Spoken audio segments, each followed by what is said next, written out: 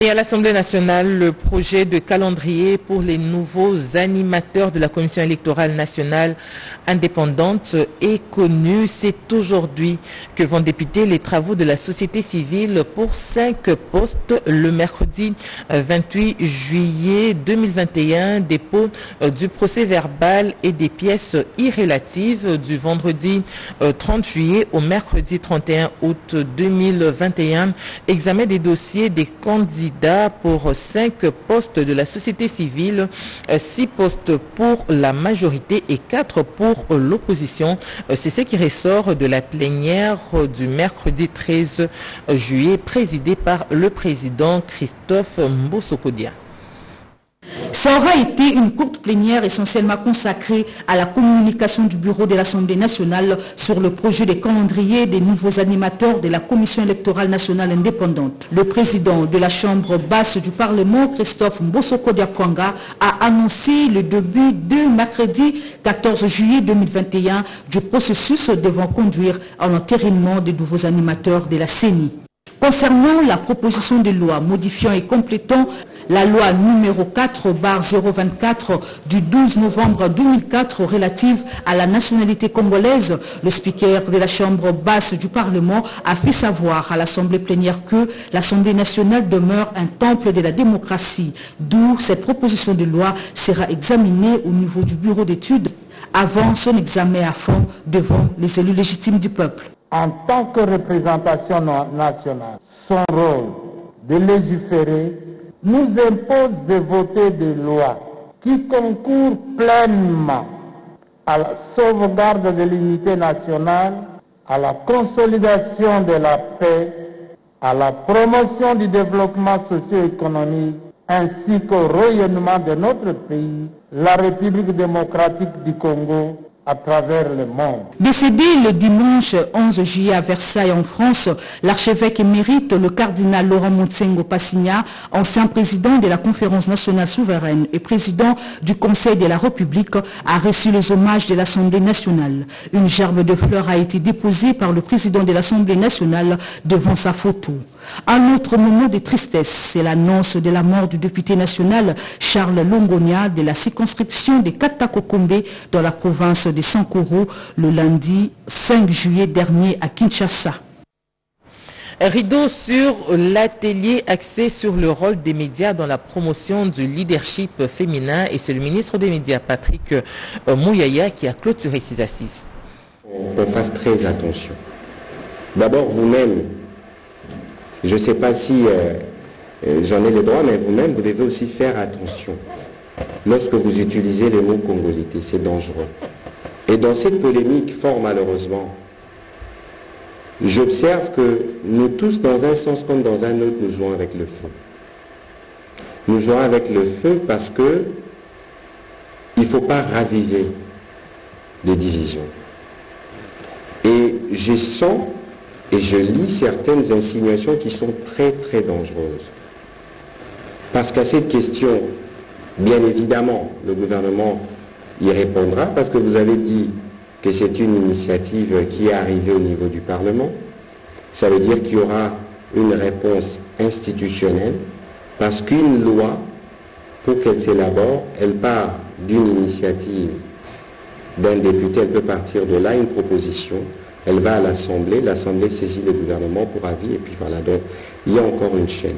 Mais la dangerosité de cette question, c'est que vous-même vous dites Alors quand on parle de congolité, je n'utiliserai plus ces mots parce que c'est dangereux. Ça renvoie à ce qui s'est passé en Côte d'Ivoire. On va un peu faire d'histoire avant que je ne revienne et que je vous donne ma réponse. En Côte d'Ivoire, c'était une stratégie politique planifiée et portée. Ici, dites-moi, vous couvrez les activités au Parlement. Parce que j'entends dire des sous-entendus du genre que le président de la République ou que le gouvernement serait derrière. C'est totalement infondé et faux. Parce que le président de la République lui-même, devant les sénateurs, il a dit, je le répète, que ou est-ce que je ne voudrais même pas utiliser l'expression en vogue parce que je le nourrirai Qu'est-ce qu'ils ont fait pour le pays, pour que le pays soit à ces niveaux. Et donc c'est une polémique de bas étage, une véritable distraction entretenue de vous venez là de suivre le point de presse du porte-parole du gouvernement sur les questions d'actualité et de l'heure. La République islamique d'Iran compte intensifier sa coopération dans le domaine militaire avec la République démocratique du Congo. Son ambassadeur accrédité en RDC a été reçu par le ministre de la Défense nationale Gilbert Kabanda qui a également accordé une audience à l'ambassadeur de la République populaire de Chine. Jojo Ndibou nous en parle militaire entre la RDC et la République populaire de Chine était au cœur de l'audience entre le ministre de la Défense nationale et ancien combattant Gilbert Kabanda Kourenga et l'ambassadeur de la Chine accrédité en RDC Zhu Jing.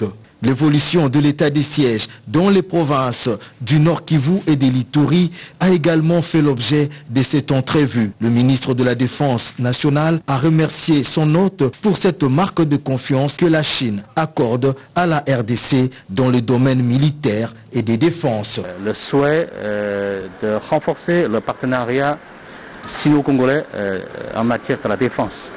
Euh, nous avons aussi euh, euh, fait une révision sur notre partenariat stratégique dans le domaine militaire avec un constat commun d'une coopération fructueuse et, dynamique. nous nous sommes convenus de travailler encore davantage pour dynamiser davantage cette coopération, se soutenir mutuellement Mohamed Chouad Shariati, ambassadeur de la République islamique d'Iran accrédité en RDC, a également franchi le portillon du ministère de la Défense nationale. Il a été reçu par le ministre des tutelles en présence de la vice-ministre Séraphine Keloubou-Koutouna. La redynamisation de la coopération militaire entre nos deux pays était au centre de cette entrevue. Et dans la province de l'Itourie, le trafic sur l'axe routier Igaboga et Maagui en Itourie a repris. Nos reporters sur terrain ont fait ce constat. À Igabarrière et à Lopa, les activités commerciales ont repris. Ici, l'état de siège produit ses fruits, comme en témoignent ses habitants. Les activités commerciales sont bonnes. Cependant, nous demandons à l'état de siège de nettoyer la zone car l'ennemi est encore autour de nous. La route est bonne. Aucune barrière illégale de miliciens. Des civils jadis en déplacement regagnent petit à petit leur domicile. Le chef du village, Lowitse, se félicite de la présence permanente des forces armées de la République dans son entité.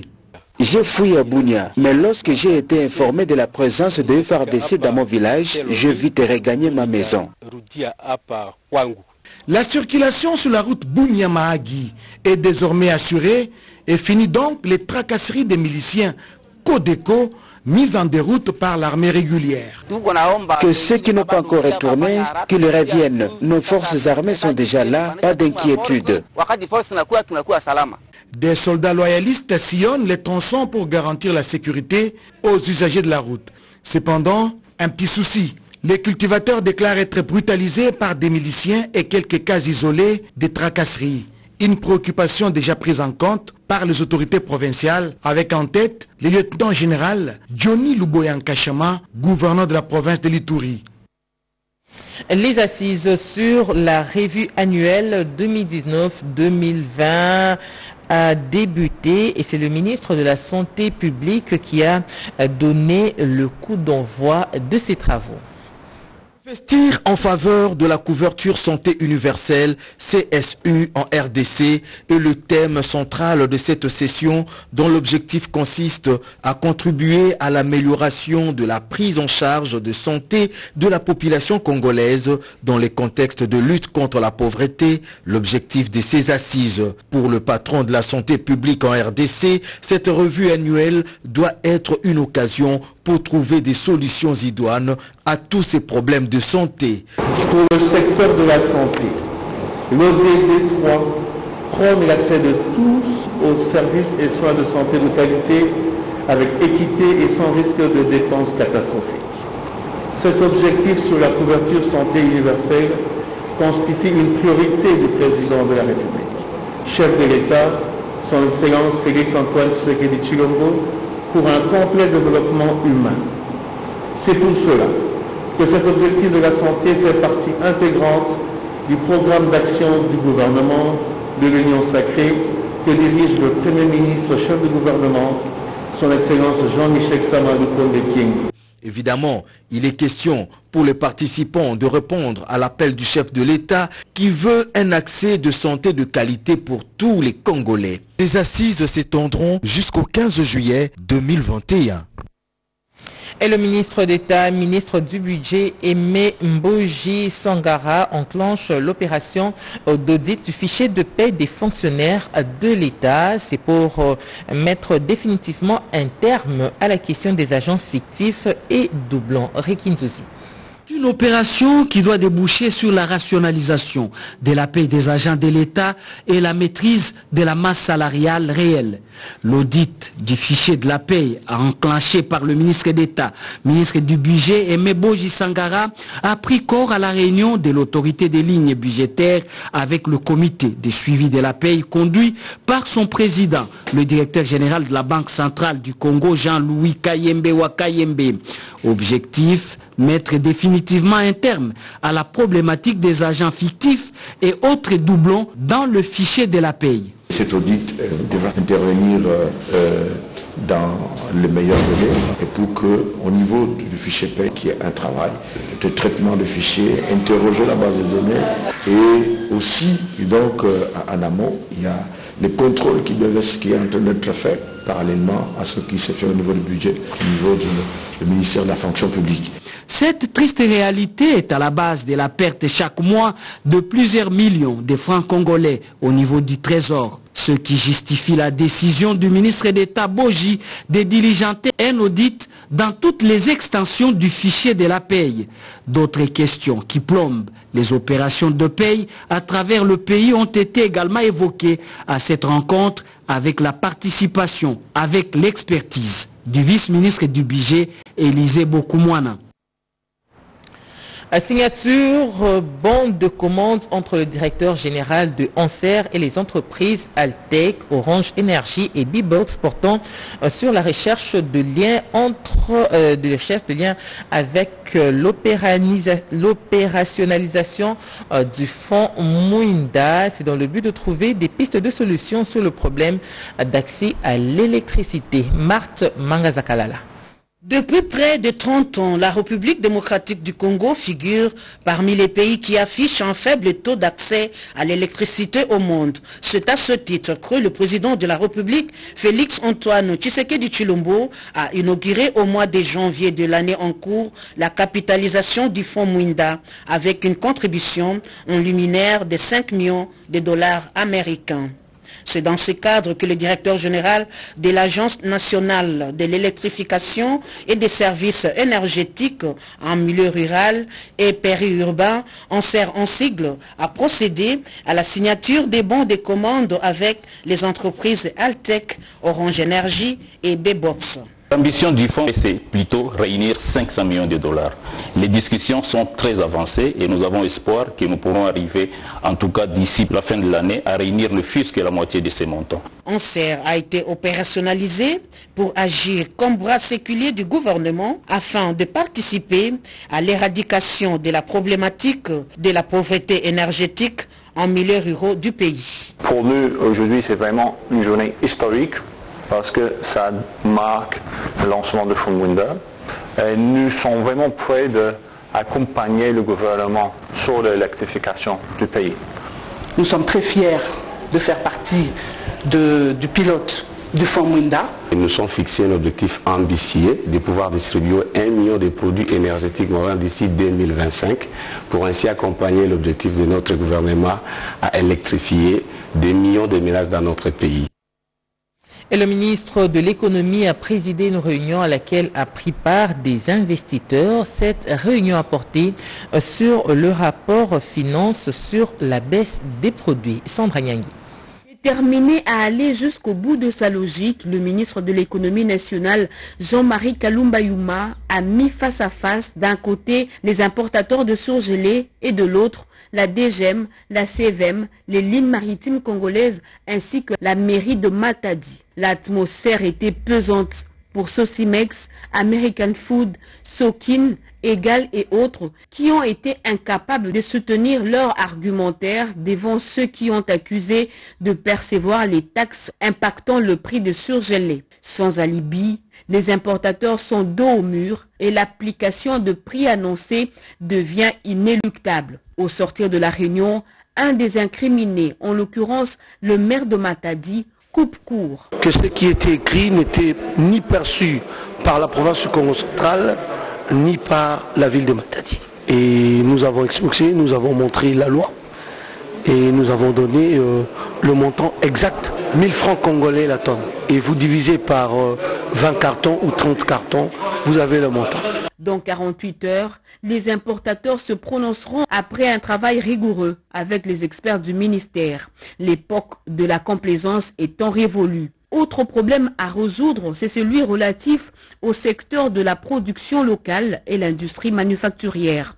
Silou, Simco, PPC Barnett pour les cimentiers, Fameco pour les barres de fer, sans oublier PHC et Sustar pour l'huile de palme et la limonade ont été reçus par le ministre de l'économie nationale Jean-Marie Kalumbayuma afin d'envisager une collaboration qui règle la question de la concurrence déloyale, de la fiscalité et parafiscalité qui menacent leur pérennité.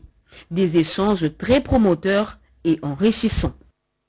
Et le ministre du portefeuille Adèle Kaindamaina a ouvert l'atelier des agents et cadres de la COOPIREC sur la bonne gouvernance. Angèle Mabiala société qui va gérer la fibre optique en République démocratique du Congo, SOCOF, est à la quête d'un opérateur pouvant gérer, exploiter et maintenir en état les infrastructures et équipements de télécommunications. Le processus a été lancé en avril 2021 et à l'issue des évaluations des offres reçues, aucun candidat n'a répondu à l'exhaustivité. Il est donc impérieux qu'une commission composée du ministère du Portefeuille, de Petentic, du COPIREP et de SOCOF soit mise en place pour examiner minutieusement ce dossier et lever l'option de recrutement d'un opérateur compétent. La minoterie de Matadi fait partie du paysage de la République démocratique du Congo depuis 1972. Une société d'économie mixte où l'État congolais possède 40% des parts.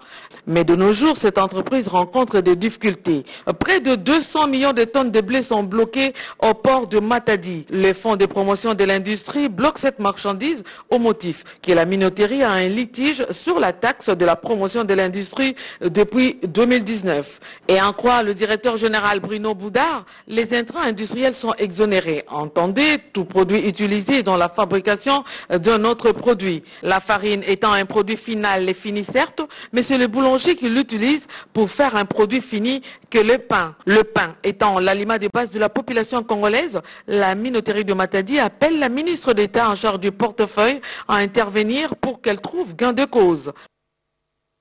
Et au ministère des Hydrocarbures, le ministre a présidé le point de presse sur les secteurs oubliés à la suite de la Covid-19 et c'est le cas des hydrocarbures. Loin d'être un frein au développement du secteur des hydrocarbures en RDC, la Covid-19 constitue un moment où les acteurs du secteur sont appelés à poser les diagnostics et entrevoir l'avenir. Au cours de ce point de presse, le président du groupe universel des pétroliers, l'ingénieur Michel Kabongonsea, a fait une série de recommandations au gouvernement. Dans la foulée, la mise sur pied d'une cellule technique pour le traitement des dossiers spécifiques. Le gouvernement doit reconsidérer euh, sa politique actuelle et mettre d'abord les hydrocarbures au cœur de son action. Que ce soit toutes les énergies de tous les gouvernements, toutes les énergies doivent être dirigées vers les hydrocarbures parce que ces secteurs peuvent nous apporter des capitaux. Qu'on arrête de commencer des histoires à la va-vite. Il faut euh, créer une bonne cellule technique qui va s'occuper de la politique sectorielle. On n'a aucune politique dans les hydrocarbures. Il a été également recommandé la réévaluation des différents blocs pétroliers, au total 16, question de permettre à la RDC d'en tirer davantage profit. Notre pays est parmi, pourrait être parmi les plus grands producteurs du pétrole au monde, mais malheureusement, nous avons constaté une léthargie pendant plus de six décennies que nous voulons corriger en ce moment. Il va falloir que nous puissions nous concentrer sur des questions essentielles. Les moyens s'y trouvent dans les hydrocarbures. 80% des pays émergents doivent le développement de leurs économies au secteur pétrolier, une véritable manne pour les budgets des bon nombre de pays africains. Vous avez corrigé avec moi que le point de presse était animé par le président du groupe universel des pétroliers, Michel euh, Kabongo. La responsabilité de chaque chef coutumier pour le renforcement de la cohésion et de l'unité nationale, c'est l'essentiel de la rencontre entre le ministre près le président de la République, Nana Manouanina, et les autorités coutumières de la République démocratique du Congo, Jacques Abouaba. Cette séance de travail a revêtu d'un cachet spécial pour la simple et bonne raison qu'elle a réuni autour d'une table la ministre et le président de la République, professeur Nana Manonina Kyumba et les chefs coutumiers de la République démocratique du Congo, recoupés au sein de l'Alliance nationale des autorités traditionnelles du Congo. En toile les préparatifs d'un séminaire sur la responsabilité de chaque chef coutumier pour le renforcement de la cohésion et l'unité nationale sur l'étendue de son pouvoir. Ils représentent les chefs de l'État dans leurs entités respectives. C'est-à-dire que c'est à eux la responsabilité de pouvoir euh, nous aider à renforcer la cohésion et l'unité nationale dans leurs fiefs respectifs. Raison pour laquelle il est nécessaire que nous puissions avoir une même compréhension de la cohésion et de l'unité nationale et que nous puissions échanger sur euh, les responsabilités de chaque chef et que nous puissions mettre au point un, guide, si possible, qui pourra aider à ce que chacun, dans son fief, puisse militer pour qu'il y ait la cohésion et l'unité nationale. Ainsi, nous pensons que nous pourrons reconstruire notre pays si nous abandonnons tous, réfléchissons tous dans le même sens. Un mémorandum des autorités coutumières de la RDC a été remis au ministre après le président de la République. Professeur Manonina a promis à son tour de les remettre à qui des droits Hommage au cardinal Laurent Mosengo Passigna. Ce cardinal émérite était un acteur essentiel dans l'éducation. L'ancien ministre de l'Éducation, Maker Mwangu, témoigne que l'ancien archevêque de Kinshasa était un grand euh, soutien pour la création de la mutuelle des enseignants qui devrait aboutir à la création d'une banque. Du mal de moi. De son vivant, l'homme savait que la destinée l'exposait aux critiques. Quand j'étais à la conférence nationale, il y a eu des attaques personnelles, individuelles. J'ai compris que ma vie était entre les mains du bon Dieu. L'engagement du cardinal aux côtés des enseignants était plusieurs fois démontré. Plus de dix ans en tant que ministre de l'enseignement, le député national, Maker Mwangu, s'en souvient. Il pensait que au-delà de la mutuelle, il fallait créer carrément une banque ou une institution financière à faveur des enseignants. Il trouvait que la modicité des revenus des enseignants ne pouvait pas constituer une fatalité. Les enseignants, avec leurs peu de moyens, ils peuvent se mettre ensemble, avoir une banque, et cette banque, je crois qu'elle pouvait résoudre beaucoup de problèmes des enseignants. Et ça, c'est une idée qu'il voulait et qu'il tenait à partager avec moi. Par amour pour son pays, le prélat catholique prêchait la citoyenneté. Quand on est convaincu que l'on aime ce pays, on se donne pour travailler pour le pays, on se donne pour que le pays fonctionne bien. Un homme immense dont on se souviendra toujours. Et c'est par cette note que nous mettons un terme à ce journal. Merci infiniment euh, de nous avoir suivis. Tenez bon, la température ressentie ce matin à Kinshasa est de 21 degrés Celsius avec euh, des brouillards. L'actualité continue sur nos antennes. Restez branchés. Au revoir et à la prochaine.